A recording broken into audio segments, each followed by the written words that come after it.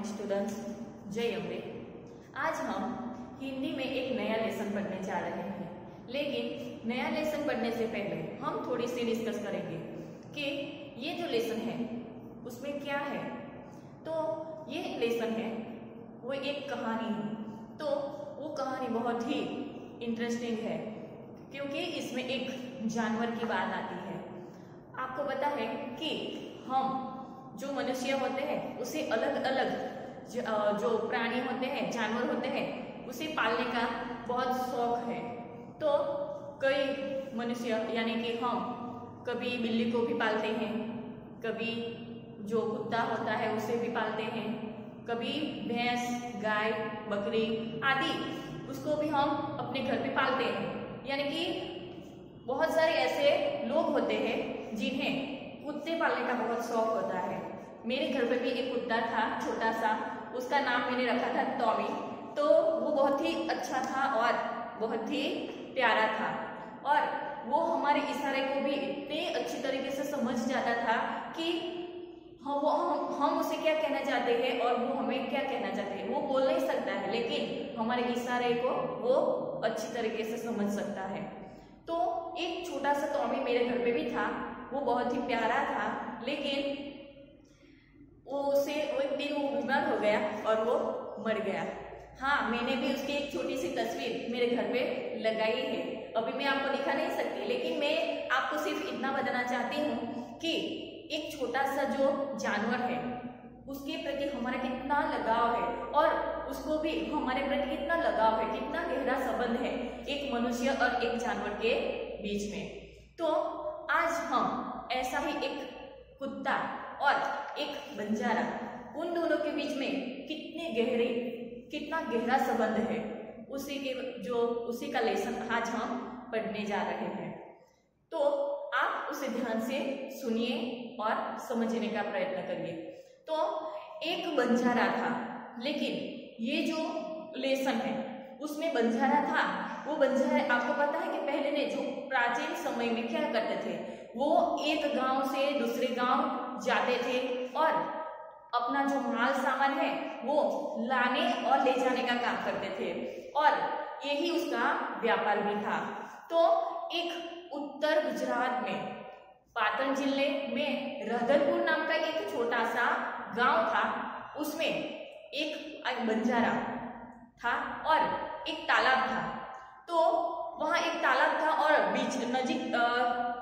पास में ही एक तट था, वहाँ पे एक कुत्ते की समाधि बनाई गई थी। राधनपुर गाँव में तालाब के किनारे एक तट के पास कुत्ते की समाधि बनाई गई थी। और वो कुत्ते की समाधि, आपको आश्चर्य होगा कि मनुष्य की समाधि बनाई जाती है, क्योंकि मनुष्य एक मनुष्य है और जानवर की कभी कोई हम समाधि नहीं बनाते। तो वहाँ पे जो कुत्ता मर गया था उसके लिए समाधि बनाई गई थी। तो हमारे लिए वो आश्चर्य की बात होगी क्योंकि कुत्ते की कोई समाधि नहीं बनवाता। लेकिन एक बंजारा है, उसके लिए वो कुत्ता कुत्ता नहीं था, लेकिन वो एक मनुष्य की जैसा ही था। तो उसने इसीलिए उसके लिए समाधि बनाई थी। और उसके लिए जो कुत्ता था, उसने क्या किया? कैसा काम किया कि उसने समाधि बनवाई? तो यही आज हम जानने वाले हैं। तो ये बहुत ही प्यारा और बहुत ही इंटरेस्टिंग ये कहानी है तो आप उसे ध्यान से सुनिए। पुराने जमाने में व्यापार का सामान लाने और ले जाने का काम बंजारे करते थे।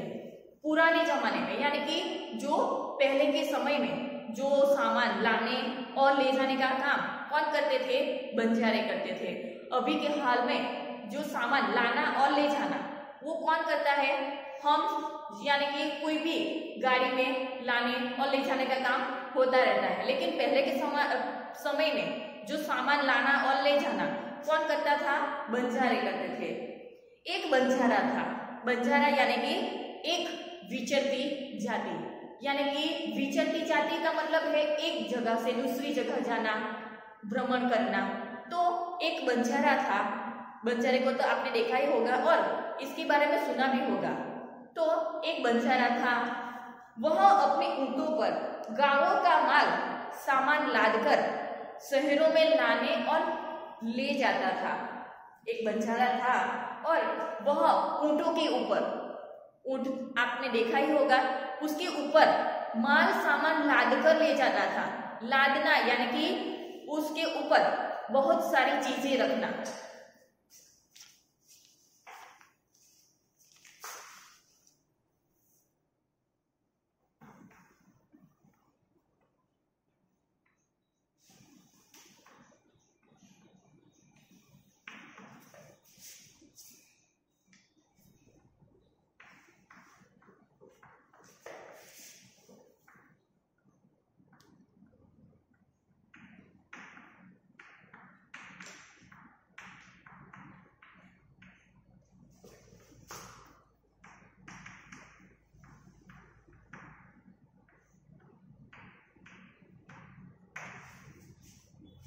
सामान लाकर शहरों में ले जाता था।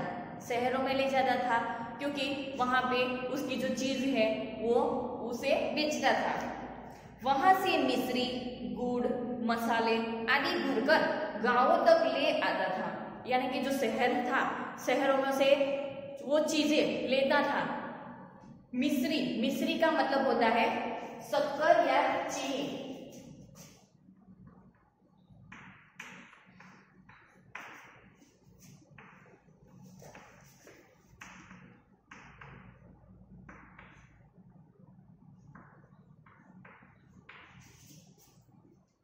शक्कर या चीनी गुड़ मसाले, यानी कि जो मसाले हम यूज़ करते हैं, वो भी शहर से लाता था और वो गाँव में बेचता था। लाखों का व्यापार था उसका। उसका जो व्यापार था, क्या था? शहर में जाना, वो बहुत सारी चीज़ें लाना और गाँव में बेचना। तो ये जो व्यापार था, वो बहुत ही यानी कि बहुत बड़ा था। लाखों का उसका व्यापार था, इसीलिए लोग उसे लाखा बंजारा कहते हैं। लोग इसीलिए उसे क्या कहते थे? लाखा बंजारा। उसका जो व्यापार था वो लाखों का था। इसीलिए उसका नाम हो आ, नाम पड़ गया लाखा बंजारा। वो एक बंजारा था। लाखा के पास एक सुंदर कुत्ता था। अब इसके पास एक छोटा सा यानी कि बहुत ही प्यारा कुत्ता था। तो कुत्ता बड़ा वफादार था। आपको पता है कि कुत्ता जो था वो कैसा था? बहुत ही वफादार। वफादार यानी कि जो जानवर होते हैं, वो वफादार होते हैं। वो कभी स्वार्थी नहीं होते। हम मनुष्य जो है, वो स्वार्थी होते हैं। जब भी उसे हमारा, हमारी ज़रूरत होती है, तब वो हमारे पास आते हैं और उसका काम जब पूरा हो जाए तो वो हमें भूल जाते हैं। लेकिन जो जानवर होते हैं, वो ऐसे नहीं होते। तो जो उसका कुत्ता था, वो बहुत ही वफादार था। रात को वह बंजारे के पड़ाव की रखवाली करता था। जब रात होती है तो रात के समय वो बंजारे के पड़ाव की क्या करते थे? रखवाली करते थे। यानी कि पड़ाव का मतलब होता है जो हमें रात के, यानी कि समय व्यतीत करने के लिए हम जो बनाते हैं, उसे पड़ाव कहते हैं। तो वो रात जागकर उसकी जो पड़ाव है, बंजारे की, उसकी रखवाली करता था। अगर चोर लुटेरे पड़ाव की तरफ़ आते दिखाई देते तो कुत्ता भौंक भौंक कर उन्हें दूर भगा देता था। अगर वहाँ पे कोई चोर या लुटेरा दिखाई दे तो वो भौंक भौंक कर उसे भगा देता था। कितना वफादार ये कुत्ता है। बंजारा अपने कुत्ते की वफादारी से बहुत खुश था।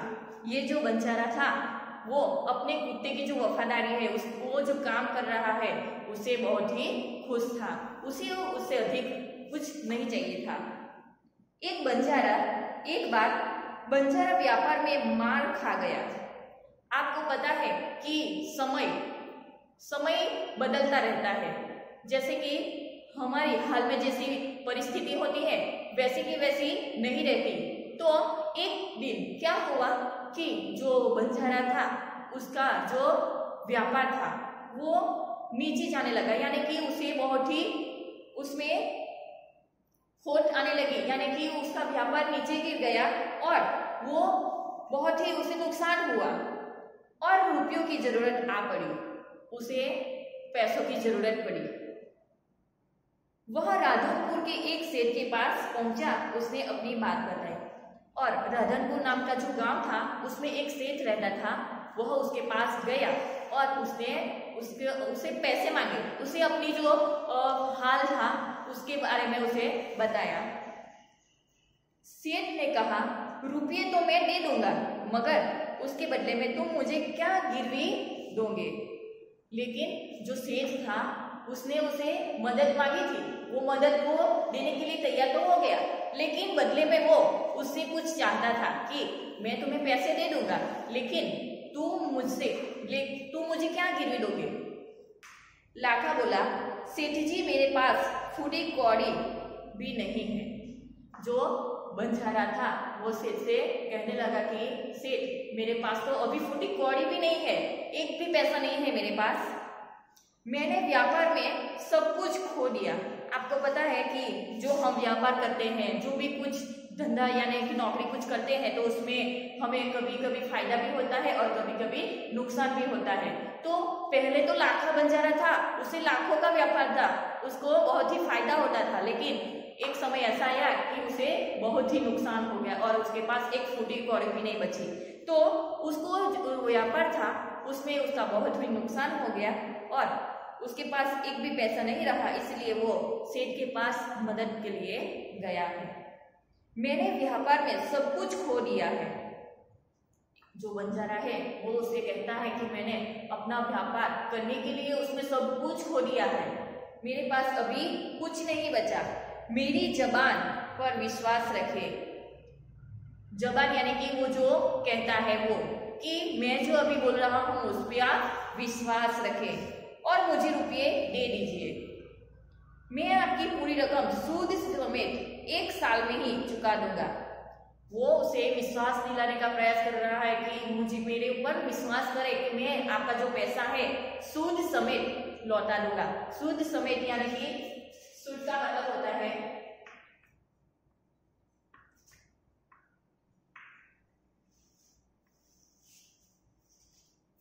एक साल में ही चुका दूँगा। वो एक साल में उसका जो पैसा था, वो उसे दे देगा, ऐसा वो कहने लगता है। सेठ बोले, कोई बात नहीं, तुम्हारे पास यह कुत्ता है। सेठ बोले, कि कोई बात नहीं तेरे पास पैसा नहीं है तो मुझे पैसा नहीं चाहिए, लेकिन तेरे पास ये कुत्ता तो है।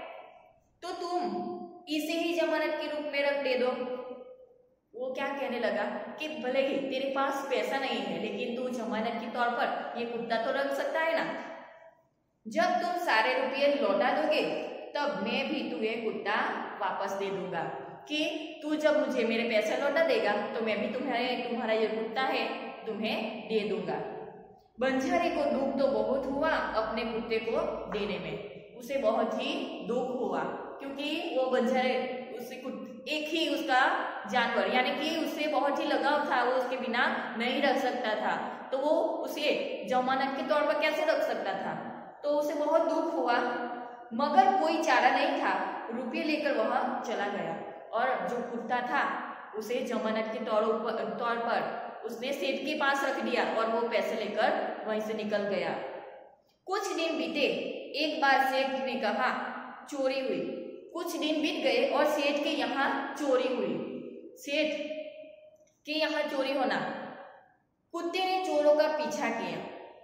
जो कुत्ता था, वो बहुत ही वफादार था। सिर्फ़ बंजारे के लिए नहीं, उसने सेठ के यहाँ भी वफादारी का काम किया था। तो एक दिन सेठ के यहाँ चोरी हुई और कुत्ता उसके पीछे पीछे गया। दूर जंगल में जाकर चोरों ने सारा माल सामान ज़मीन के अंदर गाड़ दिया वह जो चोर था उसके पीछे पीछे गया और चोरों ने जो माल सामान ले गए थे वो जंगल के ज़मीन यानी कि जंगल में नीचे ज़मीन में गाड़ दिया था जो सामान था वो और कुत्ते ने वो सब देख लिया था। वहाँ से नौ दो ग्यारह हो, हो गए। कुत्ता वहाँ भौंक भौंक कर सेठ को बताने लगा कि लुटेरे ने अपनी दुकान को तोड़कर माल उठा ले गए हैं। नौ दो ग्यारह होने यानी कि वहाँ से भाग जाना। तो कुत्ता भौंक भौंक कर जो सेठ था, उसे कहने लगा कि जो चोर है, उसने आपके माल सामान को वहाँ से चोर ले गए हैं। तो स्टूडेंट्स सेठ को हक्का पक्का ही रह गए। सेठ जो था, वो हक्का पक्का रह जाना, यानी कि चौक जाना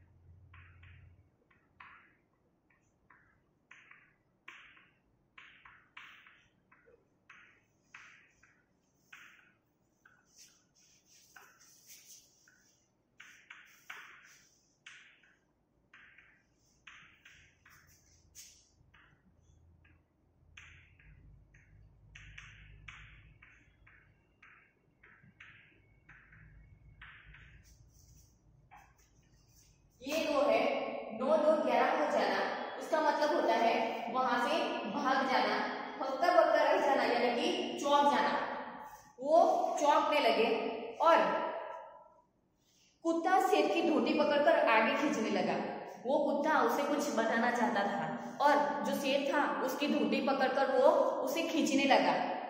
सेठ कुत्ते के पीछे पीछे चलने लगे और वो सेठ था, वो उसके इशारे को समझ गया और उसके पीछे पीछे वो भी चलने लगा। जहाँ चोरों ने माल छिपाया था, वहाँ जाकर कुत्ता अपने पैरों से मिट्टी खोदने लगा। वो कुत्ता था, वो कुत्ता सेठ को ले गया और जो ज़मीन जहाँ पे माल उसने गाड़े थे, उसे अपने पैरों से वो खोदने लगा। थोड़ा ही खोदने पर सब सामान निकल आया। जो सेठ था, उसने देखा कि वो ज़मीन खोदने पर वो उसका जो सामान था, वो निकल आया। सेठ की खुशी का कोई पार नहीं था और वो अपना जो माल था, वो देखकर वो बहुत ही खुश हुआ कि एक कुत्ते ने कितनी अच्छी तरीके से अपनी वफादारी निभाई। तो वो बहुत ही प्रसन्न हो गए। वह कुत्ते को प्रेम से थपथपाने लगा और कुत्ते को वह प्रेम प्रेम से क्या करने लगा? थपथपाने लगा, यानी कि उसके ऊपर हाथ हाथ लगाने लगा। कुत्ते की वफादारी पर वह मुग्ध हो गया। मुग्ध होना, यानी कि मोहित होना, वो कुत्ते से बहुत ही प्रसन्न हुआ। घर जाकर उसने एक चिट्ठी लिखकर कुत्ते के गले के पत्ते में बांधकर कहा, कुत्ते भाई, जाओ, तुम्हें अपने मालिक लाखा बंजारे के पास तुम मुक्त हो।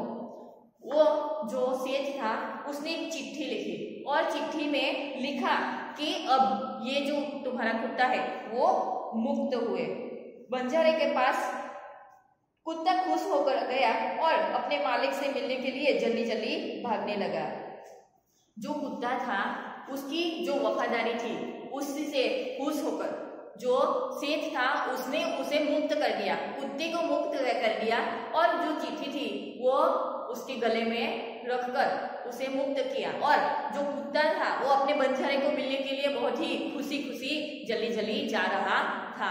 तो स्टूडेंट्स आज हम ये जो लेसन है, यही तक ही रखेंगे। अगले वीडियो में हम अगला जो पार्ट है, यानी कि अगला पैराग्राफ है, वो करेंगे। ठीक है? अगर आपको ये जो दो पैराग्राफ मैंने करवाए हैं, उसमें कुछ ना समझ आया हो तो आप मुझे कर सकते हो।